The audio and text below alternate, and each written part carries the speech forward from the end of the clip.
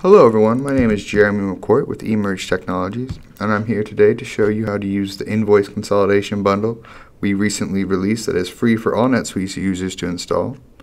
I will go ahead and leave a link to our webpage in the description, so if you find this bundle useful, you can go ahead and get it for yourself.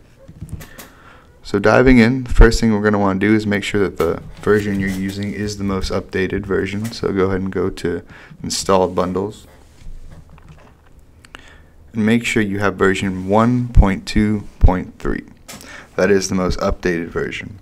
And I just want to point out that we do have documentation for this bundle. It will provide you step-by-step -step instructions to um, set it up and install it just like I'm doing here, but in a PDF version, also with some more information that you might find helpful.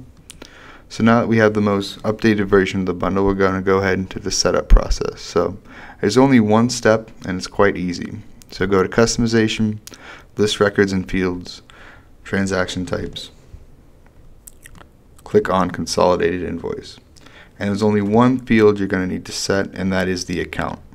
So whatever um, account you normally set your uh, invoices to, you're going to want to set it in here.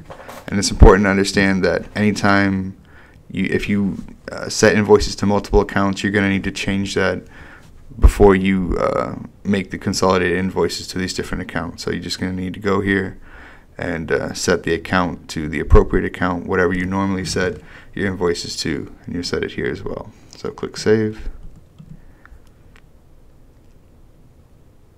And there you go. Setup is complete. So now just go to uh, Transaction Sales, Create Consolidated Invoice. And here is the consolidated invoice view. You'll see the invoice tracker number. That's a field that uh, is in the invoices that you can set if you want to track certain invoices in a, through uh, numbers. You can just set them here, and you can find them in this uh, field here, or search for them up here. There's the from date and the to date.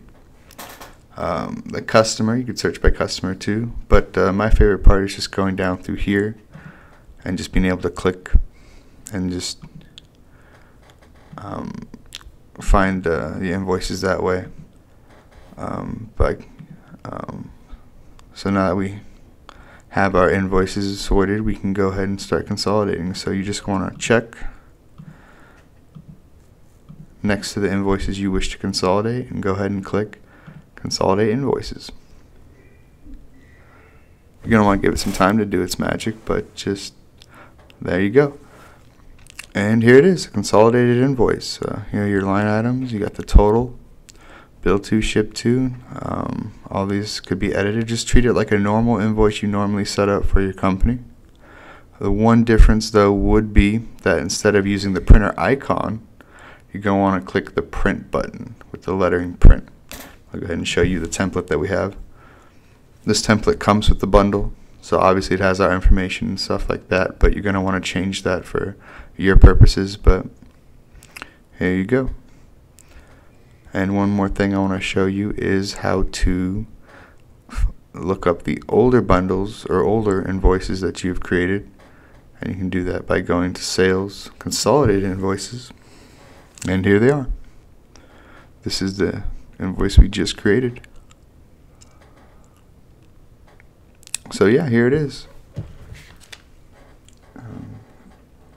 So I want to stress again that this bundle is 100% free for all NetSuite users. So if you do find it useful, go on ahead and click the link in the description, and you could be setting up these invoices just like I just did. I hope you enjoy.